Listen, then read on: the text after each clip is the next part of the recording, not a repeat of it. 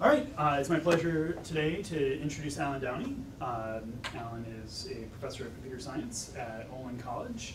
Uh, and a lot of us, uh, he's also the author of, uh, of at least three books for O'Reilly, Think Python, Think Stats, and Think Complexity, looking at uh, an intersecting world of ideas around uh, using software to explore other concepts. Uh, and uh, is professor at Olin College of Computer Science. A lot of us here at Google know him from his stint as a visiting science, scientist in uh, Jason Glasgow's group under Leonidas.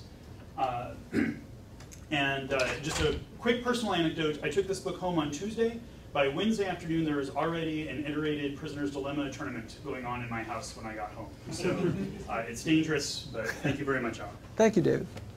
Uh, and thank you all for coming. Uh, it's a lot of fun for me to be back. Uh, I was just pointing out the, the part in the book that's about, about you.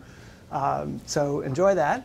Uh, if you want to follow along, that's the URL for the slides I'm using. There are a few links in the slides, so if you um, go to that, you'll be able to follow those links. Uh, so as David mentioned, I'm going to be talking about this book, Think Complexity. I want to start out by telling you a little bit about the history of how this book came around. I teach at Olin College, which is a small engineering college in Needham. It's relatively new. It's only been operating for about 10 years. The mission of the college is to create an innovative engineering program. And specifically for computer science, we needed to create a curriculum that made sense for engineers. We don't offer a degree in computer science. We offer degrees in engineering. Students can con concentrate in computer science, which is kind of like doing a minor, but we didn't want to just do an engineering major with a CS minor. We thought there was an opportunity to do something richer than that. So what we weren't looking for is a department of computer science. What we ended up doing is taking the ideas in computer science, took the whole curriculum, and you can imagine if each class is a box full of stuff, we just took all the stuff and dumped it all out on the table, threw away the boxes, and started rearranging the stuff. Because a lot of the groupings of ideas are historical and might not be the best choices for a current curriculum. So for example, if you have the luxury of offering lots of classes, you'll have an operating systems class and a networks class and a databases class. And there might not be explicit connections between those. But if you now take all those pieces and dump them on the table and think, I'm going to teach one class that covers those three topics, well, you lose something because you're not going to be able to cover everything that you did before. But you gain something because if you take operating systems and networks together, you're naturally talking about distributed systems. If you take file systems and databases together, you're naturally looking at a file system as a kind of database or a database as a kind of file system. And I think there are ideas that come out of that. So we wrote about it. We called it a small footprint curriculum in computer science.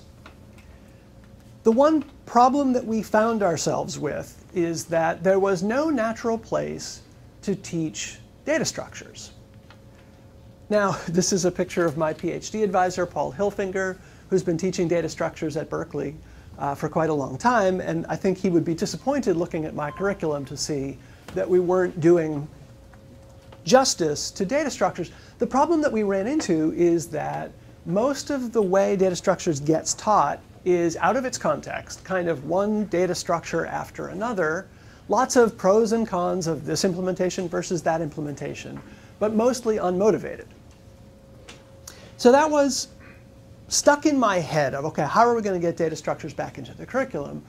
At the same time, historically, we had complexity science happening. Um, and it's a little bit hard to characterize exactly what was happening and when.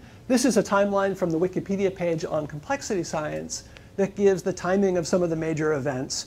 Um, the thing about this that was exciting to me is that it's all relatively new. You can study a whole lot of math and science at the undergraduate level before you get past, say, the 19th century. There's very little 20th century math and science that you get to until you get to grad school. But I thought there was an opportunity there because complexity science, in addition to being new, is also very accessible. Uh, and I'll talk in a minute about ways that it's accessible. One of them is that there were lots of popular nonfiction books written about complexity. So I started building a class around that. this was version one of the class was in 2005. And I started by just grabbing all the books about this stuff and trying to figure out if we could find out what's there. You know, there's a certain amount of hype. Is there some substance behind it? And the other thing that I wanted to do was start with, no, start with the popular nonfiction, which usually doesn't have the technical details in it. There's no code, there's very little mathematics. But what you can do in the context of a class is start with that and then dive in deeper. So we found a number of the papers, the original papers on these topics. Students re-implemented a lot of the models that were described in those papers. So that was the first version of the class. And at the end of the class, I tried to summarize the whole thing with what I called the ultra secret point of the class, because for the whole semester, we didn't really know yet what the class was about.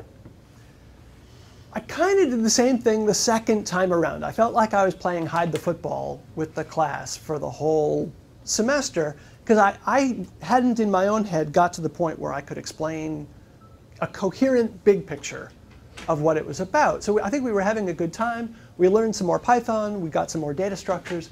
We found ourselves talking about philosophy of science quite a lot because the models that were coming up in, in complexity science raised a lot of questions about what exactly are we doing with these models? What kind of science is this? So that was the second iteration of the class. The third iteration was just this past fall, and I got to do a couple of things. Uh, one of them is I wrote this book. I had drafted parts of it, but I finally sat down and wrote everything except chapter one. We used that for the class, and what the students did over the course of the semester was uh, a set of case studies where they worked in teams of three or four, and each of them would choose a topic that could have been a chapter in the book but wasn't. And they wrote the missing chapters of the book in the form of these case studies. And some of them are now included in the book that you've got. Um, so this I thought was a nice opportunity to give the students a chance to do some authentic work that was going to get published. In fact, I recruited a program committee to get other members of the faculty to do my grading for me. So the students turned in their case studies. I pretended I was the program chair and sent out all the papers. The other faculty wrote reviews. We decided which ones would be included, which ones weren't quite ready. Um, and then I edited in January and sent it to the publisher. And uh, O'Reilly, I think, does a really nice job of turning books around quickly. I turned in the manuscript in January, and I think it was available in March uh, which if you've worked with other publishers, that's pretty remarkable. And I finally, in January, sat down and wrote what I think is the ultra secret point of the book, which is the ultra secret point of the class. And I will now tell you what it is, which is I think the development of complexity science has caused a quiet revolution in science. And what I mean by that is first, what kinds of activities do we mean when we say science? What do we think is a good theory? If you propose an explanation for something, what's a satisfying explanation? And maybe hand in hand with that, what's a, what's a good model of a physical system? I'm going to talk about some of the axes that I think we're moving along. And I don't mean to say that this is black and white, that it used to be 100% this, and now it's 100% that but that I think the center of mass of scientific activity is gradually shifting from, from your point of view, left to right on each of these axes. From models of physical systems that tend to be in the form of equations toward things that tend to be in the form of simulation, away from mathematical analysis like symbolic computation and toward discrete computation, continuous mathematics toward discrete mathematics, linear models, linear systems, toward nonlinear models. Uh, I'll give an example of some of these in a minute. I don't want to go too much into details, but I'll t- I talk about it more in the book.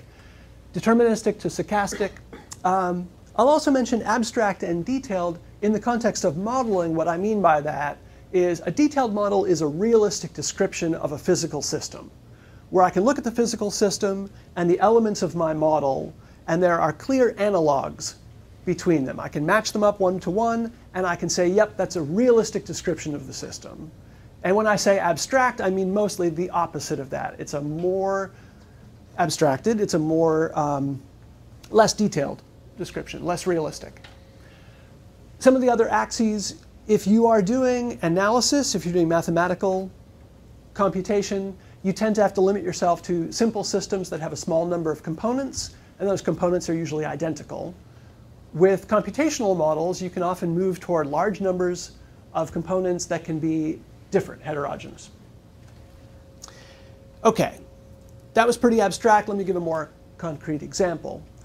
So celestial mechanics might be the, the canonical example of classical science, which I'll just I'll use the term classical science just to contrast it with whatever the new thing is, maybe complexity science. So the question is, so why are planetary orbits elliptical? It's a natural kind of question to ask. We'd like an explanation of that behavior. It turns out if you know the law of universal gravitation, you can write down a set of differential equations that describes the motions of planets, at least for a simplified solar model, solar system model. And if you now solve those differential equations, you get ellipses, and you've explained why those orbits are ellipses. And I think there's something very satisfying about that kind of explanation. I think at least most people find it satisfying. I want to offer as a point of comparison, this is uh, Thomas Schelling's model of racial segregation. And it was similarly, it's motivated by a why question. If you look at a lot of cities, people are segregated by race. So you might ask why. What he proposed is a model where the people in your city have two kinds, in this case, red and green, and they all live on a two-dimensional grid so that each of them has eight neighbors. And the model of their behavior is that they are happy if at least a few of their neighbors are like themselves. So if two or three out of the eight are the same color, they're happy and they stay put. If they have fewer neighbors like themselves, they start to feel unhappy and they move, and moving in this case just means picking a random unoccupied uh, cell in the grid and moving to it. Okay? So you could characterize the agents in this model as being mildly xenophobic. They don't like to be completely surrounded by people who are not like themselves. But you probably wouldn't describe them as rabid racists. Nevertheless, the outcome of the system tends to look like what's happening on the right there, where things get almost completely segregated by color in this case. And in fact, this is an intermediate step in the process. If you keep running that, it almost just becomes two great big blobs with one boundary between them, depending on the parameters that you tweak in the system. Uh, the red and green, anybody colorblind? Oh, all right. So I just I, I thought it was funny that who, the people who made that particular uh, graph made it as unaccessible as possible. So the question is, do you find the Newtonian explanation of elliptical orbits more satisfying than the Schelling explanation of racial segregation? I think most people do, but I want to poke a little bit at why. There are a few characteristics of classical science that make us feel good about it, but it's not obvious that we are justified in feeling good. So one of them is the appeal to a universal law. In that case, we were able to invoke universal gravitation. And I think there's something about the fact that the same law applies to things moving on the Earth's surface and also to planets moving in solar systems that makes us feel like that law has validity, as opposed, for example, to a law that has very narrow scope. Okay? There's a certain amount of mathematical virtuosity that I think impresses us and makes the work seem more real. I have a colleague in physics who frequently refers to the sort of thing I do as playing with computers. So mathematics is real, playing with computers is fun and games. Um, on the other hand, so I'm, I'm, I don't want to bias this too much. I think that one might have been a little edgy. But legitimately, predictive power is, I think, something we would like to see in a model or a theory, and that was the great selling point of Newton's explanation of celestial mechanics. We can predict solar eclipses, we can predict all sorts of things that are going to happen. That's not as true of Schelling's model. Uh, and, and proofiness. It feels like we've just done a mathematical proof.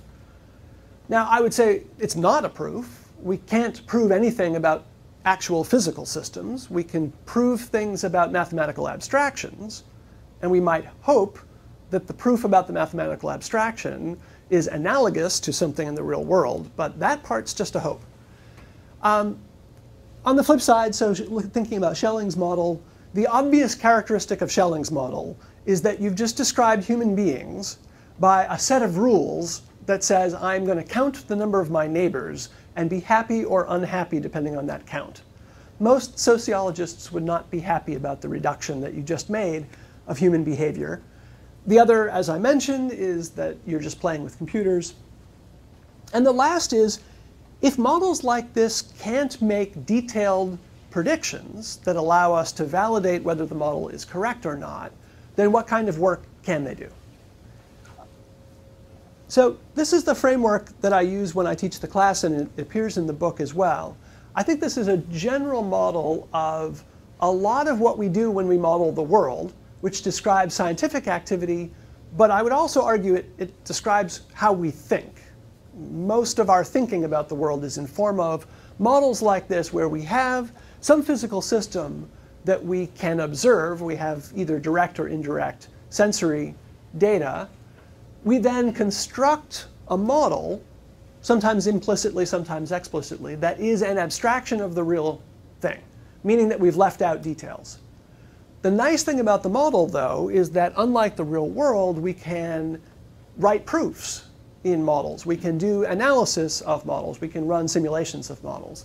What you get out of that are predictions and explanations that you can then compare to whatever it was that you saw in the physical system and get some kind of uh, validation out of that.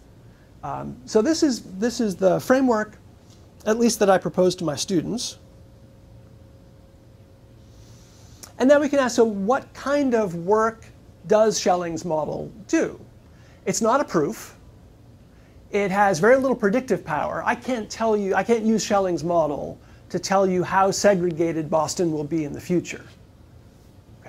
But what it does provide is a kind of a logical argument. It's an existence proof or a counterexample to the assumption that if you see segregation in a city, that the people who live there must be racists that the, only, that the only explanation of segregation is racist agents. So the claim I think that Schelling would make is that this might be sufficient to cause segregation, but it's not necessary. You don't have to actually have people behaving like this in order to see segregation as the outcome.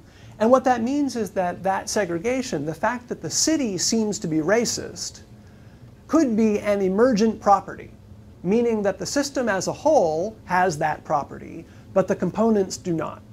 The, the individual agents might not be racist. I want to give one other example of this kind of model because I think a couple of examples will help us think about it. Uh, I'm going to talk about the six degrees experiment that Stanley Milgram ran. How many people are familiar with Stanley Milgram? Okay. If you're not, I highly encourage you to find out more about him. I think he's fascinating in part because he ran two out of the three most infamous experiments in all of social science. One of them that I just think you have to read about if you haven't is his study of obedience to authority. This is the origi- one of the original deceptive uh, social behavior experiments where he brought people in and told them that they were participating in a teaching and learning experiment where they would act as a teacher. And a learner on the other side of the glass was actually an actor. And the subjects were told to administer electric shocks whenever the learner got the answer wrong. And they would start out by giving a 15 volt shock and work their way up a board to 450 volts. And what would happen as you went from 15 to 450, two things would happen. One, the warning labels on the board would say things like, you know, mild shock, severe shock, hazard, warning, danger. I don't remember exactly what it was, but it was increasingly dramatic. You know, yellow and black diagonal stripes, everything. Also, the actor on the other side of the glass would go from saying things like, ow, or hey, stop that, to I'm having a heart attack, please stop, to silence at one point. The nature of the experiment was to see how far up the board people would be willing to go under different circumstances. And some of the circumstances, for example, would be the investigator in a lab coat, also an actor, standing behind the subject and saying things like, you must continue. The experiment requires you to continue. Um, and you probably see where the punchline of this is going, which is that many people go much farther up the board than you would like to believe about human nature. In fact, something like six, under some conditions, and I forget the exact details, something like 60% of the subjects went all the way to 450 volts, yeah. and, and were asking for more. Um, so I, I, think it was when the authority assumed said, stated that they were assuming all responsibility. I think yeah, you're right. And there were different scripts and different layouts of whether they could see the authority or whether they could see the learner and so on. So fascinating stuff, especially because no one will ever be allowed to run that experiment again. Institutional review boards were pretty much created. They should be called the Stanley Milgram Memorial Institutional Review Boards. Um, anyway, fascinating stuff. Read more about it if you're not already familiar with it. The other experiment that he did, that is the one I'm going to talk a little bit about today, is the small world experiment, where he wanted to investigate the structure of social networks by seeing whether he could get a package delivered across the country following only social hops.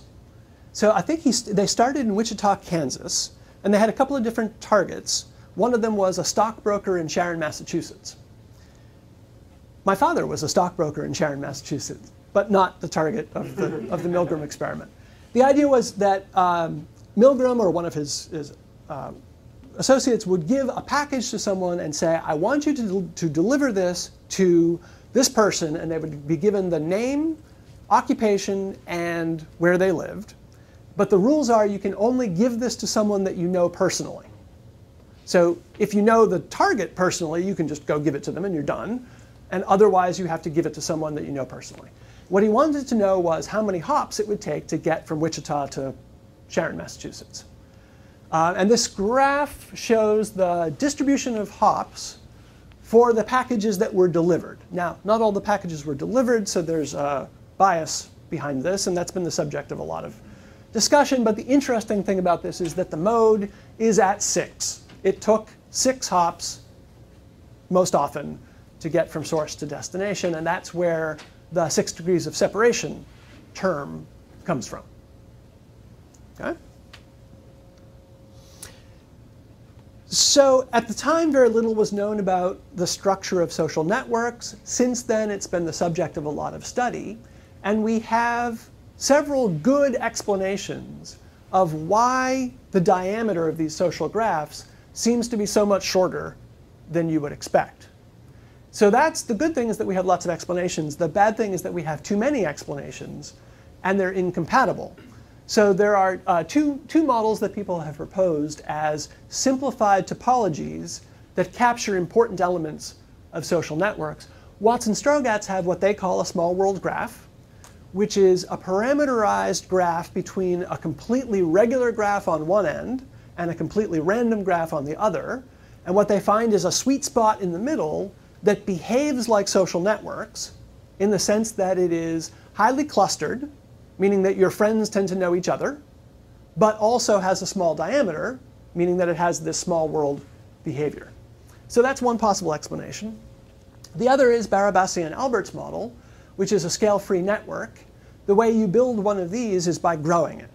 So if you start out with one or a small number of nodes and gradually add nodes with the property of preferential attachment, meaning the rich get richer and the poor don't grow as fast. What you get is a high, um, a long tail distribution of uh, degree in the network. There are, most people have a small number of friends, but there are a few people who have a very large number of friends. That graph also has the small world property, and so now if you're trying to explain the small world property, you don't know which explanation is right. This is part of the reason in my class that I found myself inevitably talking about philosophy of science, because we've just left the world of doing science, building models and using them to predict, explain, and design. What we're now talking about is theory choice. Why should I prefer one model or one theory over another? And so that led us toward uh, Thomas Kuhn, who wrote The Structure of Scientific Revolutions, which is probably his most famous book. If you're not familiar with that book in particular, you're almost certainly familiar with paradigm shifts. That book introduced that term. So all the bad jokes about paradigm shifts that we've had for the last, let's see, since 1963 or 4, um, you can blame Thomas Kuhn for that particular piece of vocabulary. He also wrote an essay called Objectivity, Value Judgment, and Theory Choice, which is explicitly about the, the situation we were just talking about. Two competing models, in some sense, they both explain the data. So you can't choose one over the other purely in terms of how well it fits data. There have to be other criteria, and that's exactly what he explained. Well, what are those other criteria? Both descriptively, like if we watch scientists and listen to what they say, what are the criteria that they seem to be applying, and also normatively, which is which of those criteria do we think are justified, and, and which might be bias. One of the reasons that the class inevitably ends up in philosophy was explained nicely by XKCD, which found that the structure of information, at least as represented by the Wikipedia, has a tendency to lead inevitably to philosophy. And this came out by the, the experiment that if you take any article, click on the first link, and repeat that process, you will eventually end up at philosophy. Uh, if you haven't read that cartoon, I, I recommend it to you. Um, so I took some of the things that we were talking about in the class and made them into a running theme throughout the book. So each chapter tends to raise a different issue in philosophy of science, and then I tried to write a little bit about it, just enough to introduce what I thought were interesting questions, and hopefully point you to toward more reading. Uh, I mentioned theory choice as one of the first topics that comes up. The demarcation problem is one of the others. The demarcation problem is uh, is there a justified definition of science that lets us distinguish between things that are real science, good science, and other things like pseudoscience or that, that seem like they might be sciency, but they're not, or say religion, things that are not science at all, but how do we clearly uh, justify that definition? Realism and instrumentalism comes up quite a lot. This, is, um, this pertains to how we interpret the theories and models that we're using to describe physical systems. I won't say too much about that now. I'm going to come back to it just a little bit later. Uh, holism and reductionism is one of the other uh, topics that comes up. Again, I won't say too much about that right now. But I will come back to, as I said, the ultra secret point of this book. I started with this set of axes uh, at the beginning, and I speculate, or at least the, my thesis, is that we are living through a transition toward a new kind of science. I'm kind of borrowing that phrase from Stephen Wolfram, but I mean it in a different sense that he does. So I'm, I'm, I'm going to have to violate his trademark on that phrase. He is primarily talking about, um, well, actually, tell you what, if, if you want to know what I think Wolfram is saying when he says new kind of science, ask me afterwards. Let me not go down that. What I mean by it is just what I was saying before, the shift along these axes in what we think is science, what we think is a good model, what we think is a satisfying kind of explanation, what we think is good work for a scientist to do. I think there are some other shifts going on at the same time that are related. One of them is what kind of work do we want models to do? With the Newton example and the Schelling example, I wanted to show what I think is a shift from models that are primarily meant to be predictive. They were often tools that we would use as computational devices for making predictions that had practical consequences. I think there's a shift toward models that may be explanatory without necessarily having predictive property. I mentioned realism and instrumentalism. All right, let me finally say what I mean by that. Let me throw out an idea. Are electrons real? By a common language use of the word real. Okay? So I think we would all buy, or at least I'll ask you to accept, that chair is real. Okay? Unicorns are not real. So on, on that axis of real, not real, what's your feeling about electrons? Not real? Okay. Useful abstraction. They might be a purely useful abstraction. And you could certainly take that view. That would be an instrumentalist interpretation of a theory involving electrons. Uh, now, here's a trivial thing that you could do with that theory. Electrons, for historical reasons, have negative charge. You could imagine a whole new physics of the world where you just flip the signs of everything. Okay, that, that new physics would be just as good as the old physics, except that electrons in some sense would be different. They would have positive charge. And it's clear that you haven't done any work by doing that transition, but it does suggest that the entities that make up your model are in some sense arbitrary. I could have The had, charge is, um, is, is arbitrary. yeah. So The number's arbitrary. Right. Yeah, so in that case, I haven't really done much, but I could imagine another physics that, that postulated a different set of entities, more different than just positive versus negative charge, and that other physics might be just as good as, as what we currently call physics. It's not easy to actually make one up as a good example, but it's at least imaginable. Anyway, that discussion will take you down the road toward talking about realism and instrumentalism. Uh, the other one is uh, reductionism and holism. I'm torn about how far to get into that one. Hofstadter talks about this in uh, Gödel, Escher, and Bach, and this is one of his, his figures that I kind of like just because it's a nice way to think about things that you would interpret differently at different scales. Um, and that's related to reductionism and holism. I think I'm going to punt on that for now, but we'll give you a chance to talk about it later if you want to. If there's a new kind of science going on here, one can imagine that there would be a new kind of engineering that goes with it, and I think there is. These, again, are some of the axes where I think we're shifting over time away from engineered systems that tended to be centralized toward decentralized systems.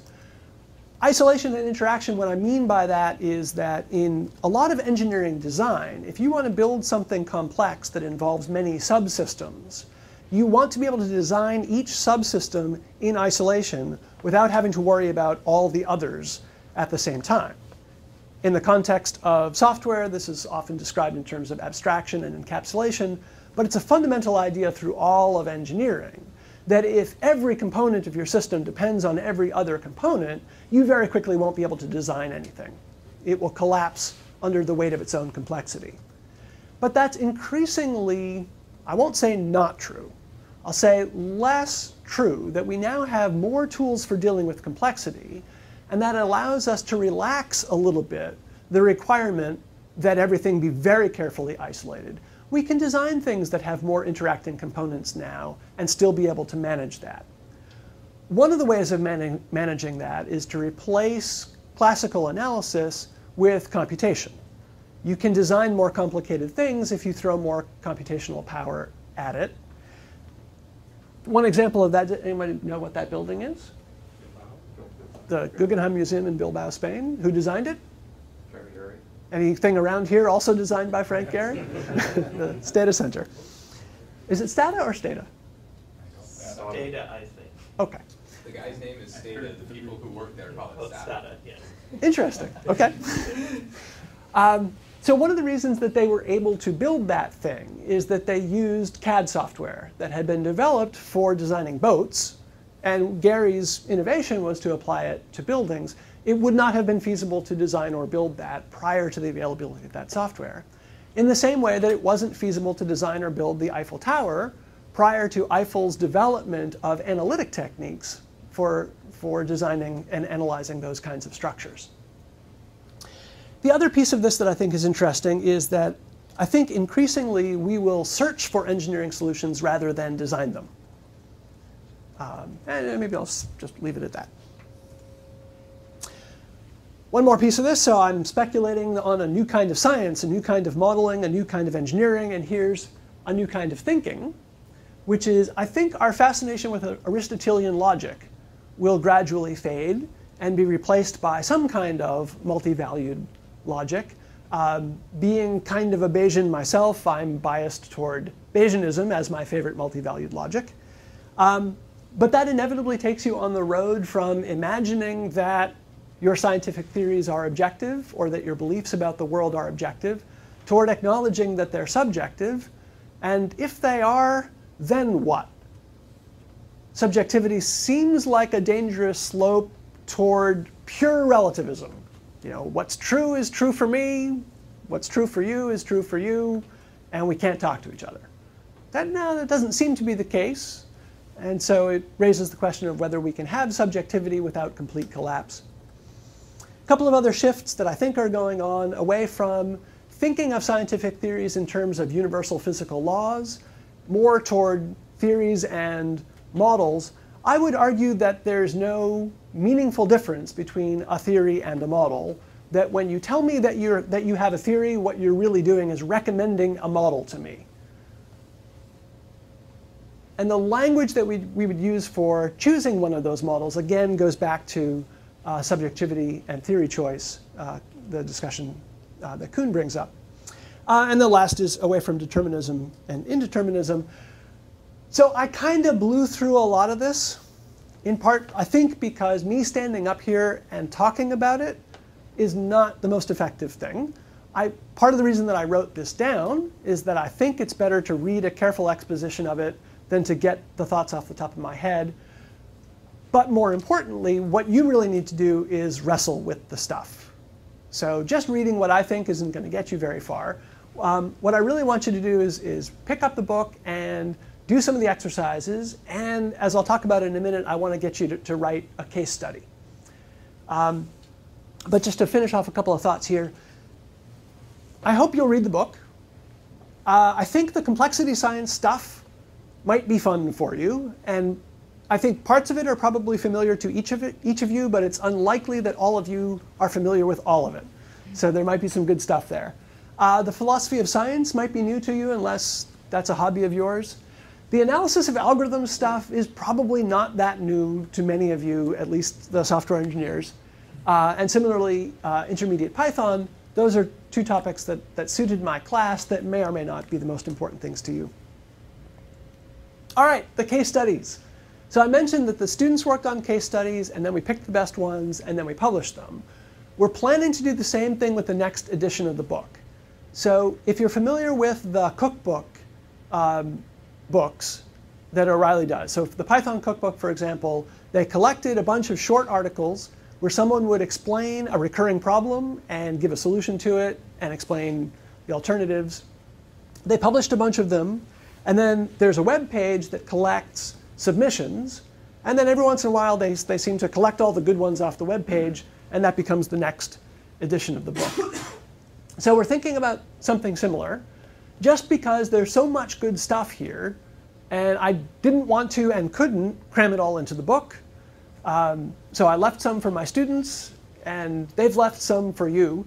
Some of the ones that they've done so far, uh, this is an ant trail model, uh, which is another agent-based model. We have a very simple model of, of um, ant behavior, their decisions about whether they will turn left or right, and how they propagate out from the nest.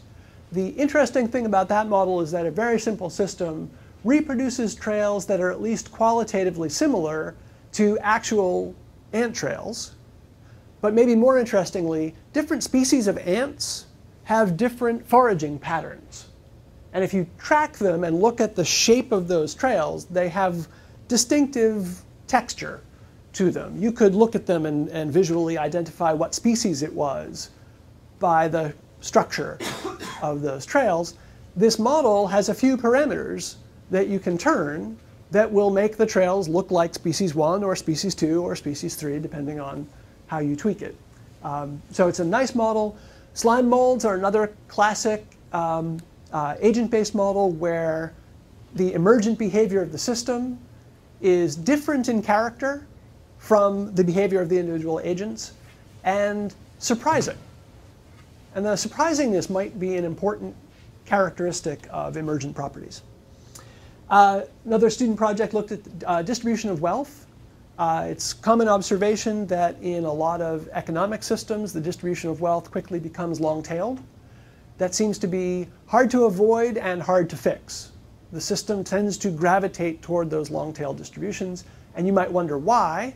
Sugarscape is again, a very abstract, very not realistic model of an economy of a kind, a sugar economy. Um, but it develops long-tail distributions in ways that I, th I think can be explanatory. Uh, a knot in Wikipedia, if you have a directed graph and you follow links through the graph, you might find that you've arrived in a neighborhood that you can no longer get out of. Uh, and so the students were searching to see whether the, direct, the direct, directed graph created by Wikipedia uh, has knots in it. Uh, Norm's game is related to iterated prisoner's dilemma. Um, and then I had one student that took on a very ambitious project that didn't quite get to the finish line. So it's not in the book, but they did a lot of very cool stuff with the uh, evolution of virtual creatures. So the creatures would have a genotype that would describe their phenotype in a simulated three-dimensional environment. And so you would evolve them over time by having them interact in this simulated 3D world, have some kind of fitness contest to see who gets to be represented in the next generation, and then follow the gene pool over time. What they discovered, and lots of people have built versions of this, is that the animals discover lots of innovative solutions to problems like gathering food and hitting each other and, lo and locomotion and things like that, including the ability to exploit bugs in your simulation of the 3D world. so that's right. They discover magic. One of the things one of the things that they discovered was that there was a, a error in the boundary condition that if you were if your critter was very close to the boundary and kind of moving back and forth across the boundary of the world, it would start translating along one of the axes much faster than anything else in the world could move. And they kind of discovered the transporter, and animals were, animals were exploiting it. And when they were running away from something, they would head for the boundary and then zip along. Okay, um, just a couple of thoughts about things I'm currently working on. Uh, in seven days, I need to turn in the manuscript of Think Python, and they're going to try to turn it around and make it available by July. So we'll see how all that goes. This is the second draft of the cover. I have to tell you a little bit about the story of the cover. You might know that O'Reilly puts animals on all the covers, and a lot of people have wondered, well, who gets to choose the animals? They actually have a person who works full time. That's her job she picks the animals.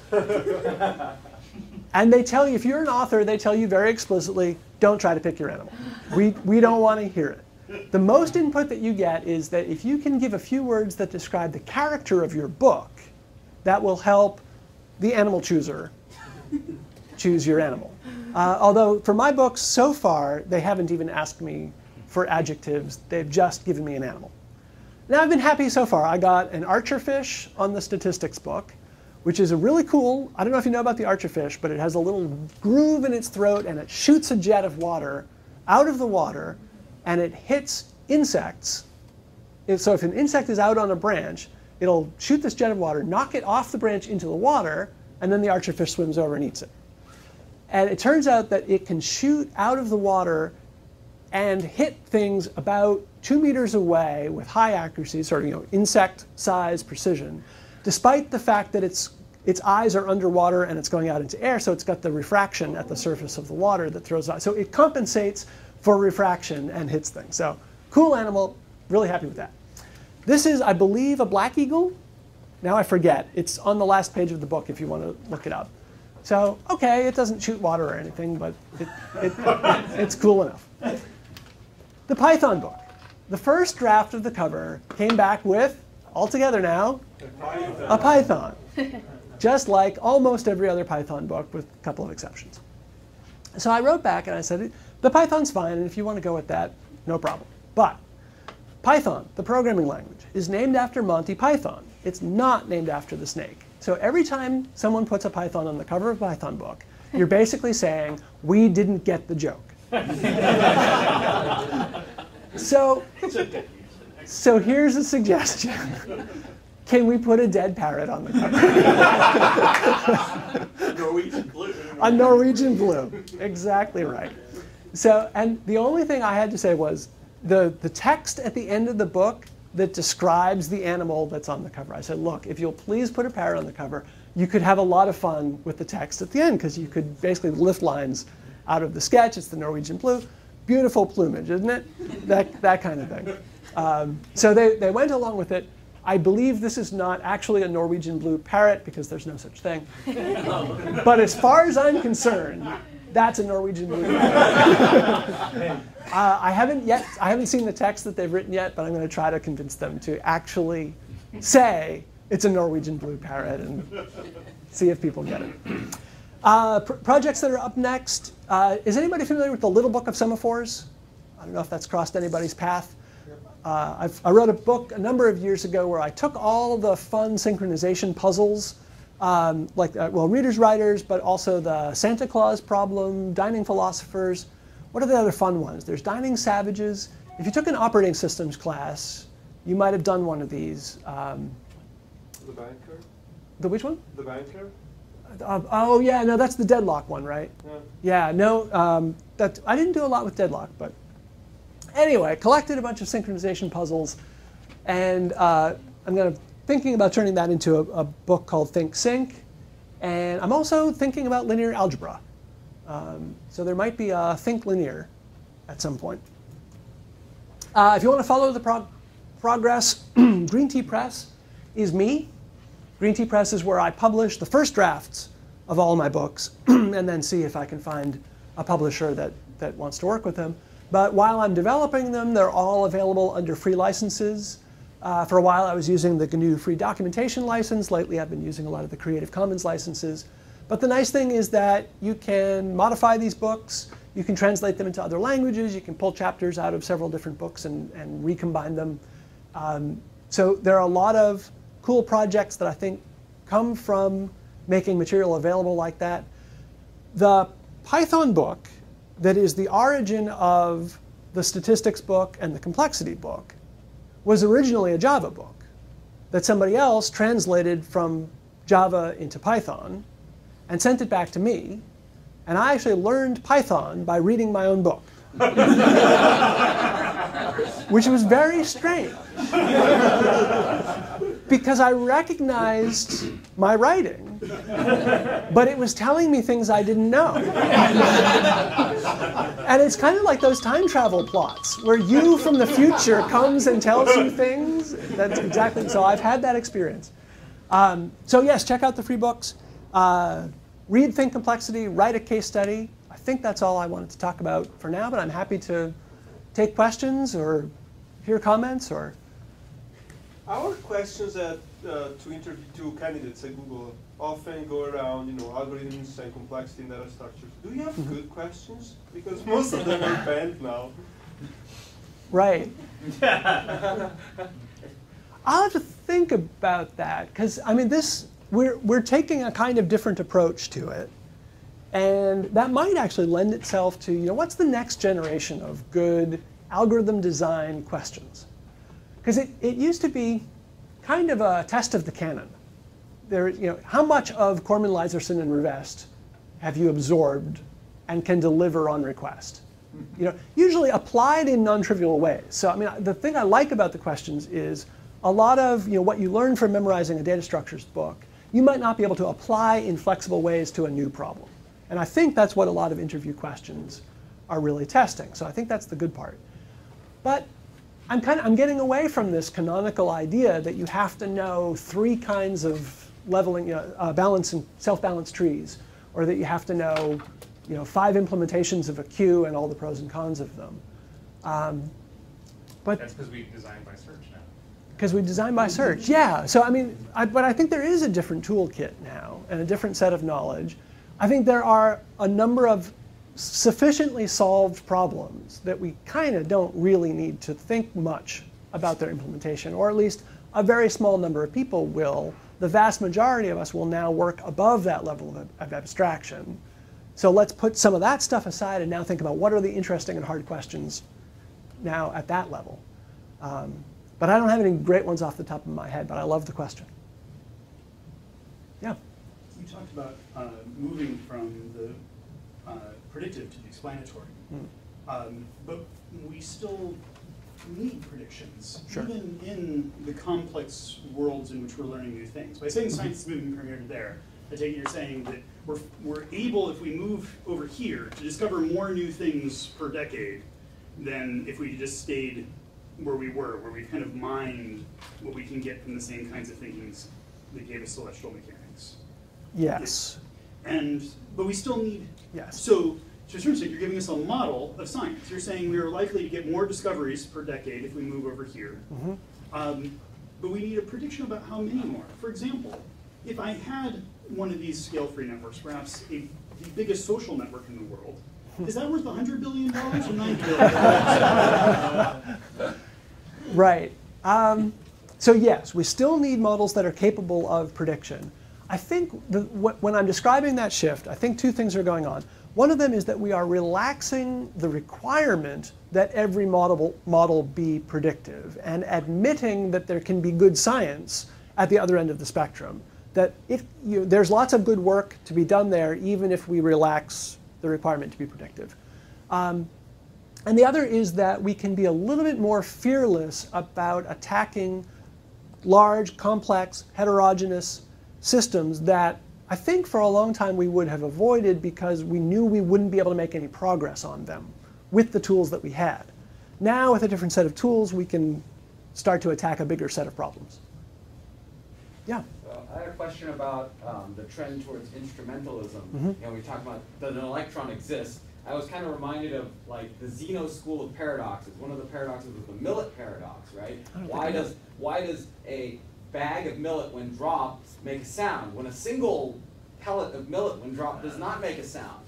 You know, I, I think this talked both to their ideas of summation and their use of perception as a means of determining reality Mm-hmm. right? So the Greeks said, well, the sound doesn't exist unless my ear can actually hear it, Mhm. right? An electron, in my understanding, is it's real in the sense of you, you can prove that, what was it, Thomson's experiment, the thing about the droplets moving at discrete velocities, right? That there's a quantized charge. And so one can assign quantification to that. Like, are we moving towards a trend of other things being considered like reified, like a traffic jam or, or some sort of complex phenomenon as real, you know, in, in as part of your paradigm shift?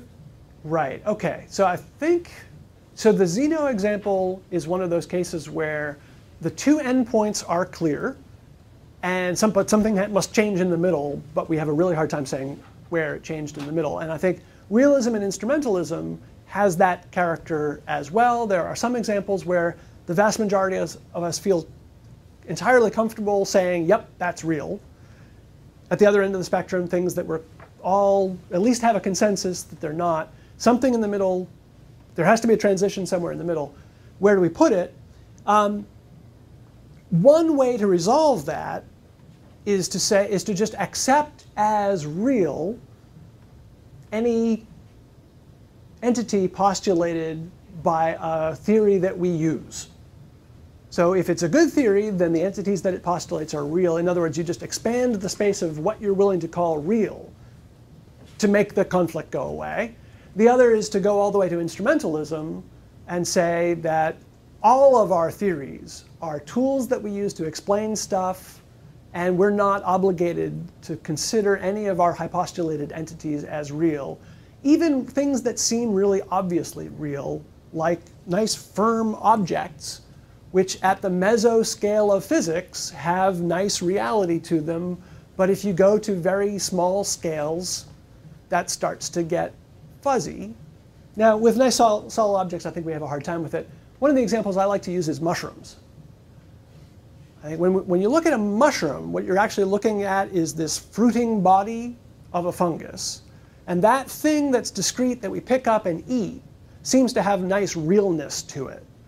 But that organism that you just harvested is actually a very fine network of cells that's mostly underground. The underground part might be hundreds or thousands or millions of times more massive than the thing that you just picked up. So, in the sense of being big and concrete, it's real, but it's also really diffuse.